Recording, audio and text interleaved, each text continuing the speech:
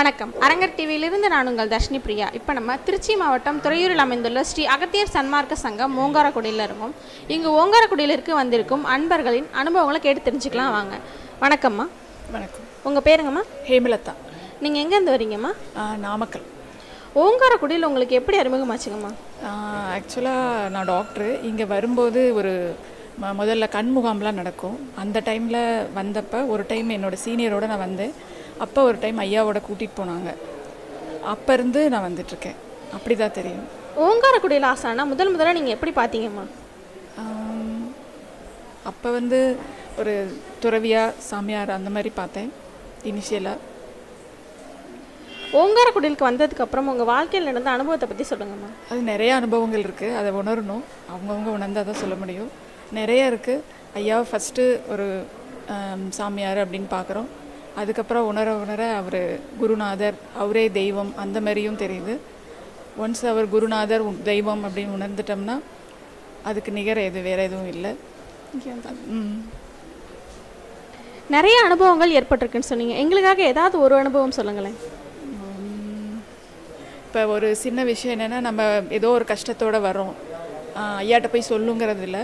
உள்ளே நம்ம இப்படி வளையலில் நிற்கும்போது நம்ம என்ன நினச்சிட்டு போகிறோங்கிறது அதுக்கு அதுக்கு தான் ஐயா வந்து உடனே பதில் சொல்லுவார். நம்மளுக்கு மட்டும் தான் தெரியும் நாம் அதை தான் நினச்சோன்னு சொல்லிட்டு ஐயாவுக்கு தான் தெரியும். நம்ம என்ன நினச்சிட்டு வந்தோம் எதுக்கு அவர் அந்த வார்த்தையை சொல்கிறாரு அப்படின்னு புரிஞ்சுக்கிறது. ஓங்காரக்குடியில் ஆசான் நிறைய தர்மங்கள் செஞ்சுட்டு வராங்கம்மா. அதை பற்றி நீங்கள் என்ன நினைக்கிறீங்க? ஆமாம் இது ரொம்ப பெரிய விஷயந்தான் டெய்லி அன்னதானம் நடக்குது. அன்னதானம் டெய்லி மூவாயிரம் நாலாயிரம் பேர் போடுறது பெரிய விஷயம். அதுக்கு நிறைய பேர் உதவியும் செய்கிறாங்க நிறைய இது கண் முகாம் நடத்துகிறாங்க நிறைய இடத்துல கஞ்சி அருட்கஞ்சி தானம் செய்கிறாங்க இது வந்து ஞானிகள் முருகப்பெருமான் ஆசி இல்லாமல் இந்த மாதிரி செய்ய முடியாது.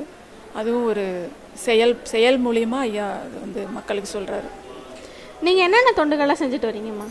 நான் இங்கே வந்து பொருளுதவி மட்டும்தான் செய்வேன். வேறு எதுவும் என்னால் வருவேன். வார வாரம் ஒரு தடவை வருவேன். ஆனால் பொருளுதவி மட்டும் செய்வேன். அவ்வளோ வேறு எதுவும் செய்கிறதில்ல ஓங்காரக்குடியில் பற்றியும் ஓங்காரக்குடியில் ஆசானை பற்றியும் மக்களுக்கு என்ன சொல்ல விரும்புறீங்கம்மா? ஓங்காரக்குடியில் ஆசான் வந்து அவர் வந்து முருகப்பெருமானோட அவதாரமே அவர் தான் எல்லா ஞானிகளும் அவர் மூலியமா நம்மளுக்கு ஆசி வழங்குவாங்க. அவர் வந்து பார்க்கறதுக்கே நிறைய புண்ணியம் வேணும். இங்கே ஓங்காரக்குடியில் மண்ணை மிதிக்கணுன்னாவே ஒரு புண்ணியம் வேணும். அது மக்கள் எல்லாம் உணரணும். உணர்ந்து அவர் வந்து பார்த்து ஆசி வாங்கினா அவங்க வாழ்க்கையில் நிறைய மாற்றங்கள் இருக்கும். ஓங்காரக்குடில் பற்றியும் ஆசானை பற்றியும் மிக சிறப்பாக சொன்ன நம்ம அன்பருக்கு அரங்கர் டிவி சார்பாக நன்றிகளை தெரிவிச்சுக்கிறோம். ரொம்ப நன்றிங்கம்மா.